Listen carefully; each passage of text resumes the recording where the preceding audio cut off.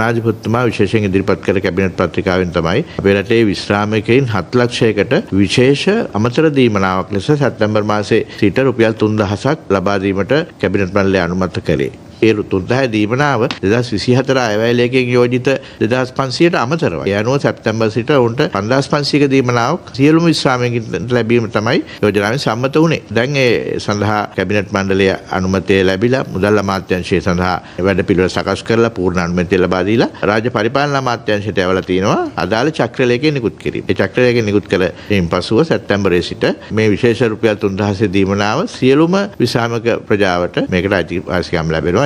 අපි දැනුමෙන් සන්නද්ධව පෝසත් රටක් ගොඩනගමු. DP Education ඒ අනුව ඔවුන්ගේ දීමනාව මාසිකව මෙතෙක් ලද දෙදස් පන්සිය පන්දස් පන්සිය බවට පත්වීමට නියමිතයි. එම රුපියල් තුන්දහසේ දීමනාව සැප්තැම්බර් මාසයේ සිට ඉදිරියට ලබාදීමට පමණක් දෙදස් විසිහතර වර්ෂයේ අවමාශයෙන් රුපියල් බිලියන සිය කෝටි අටයිදසම හතරක වියදමක් බණ්ඩාගාරයට දරන්න සිද්ධ වෙනවා නමුත් සමස්ත විශ්‍රාමික ප්‍රජාව වෙනුවෙන් රජය ජනාධිපතිතුමාගේ විශේෂ කැබිනට් පත්‍රිකාව මත ඒ මුදල දරන්න සූදානම්.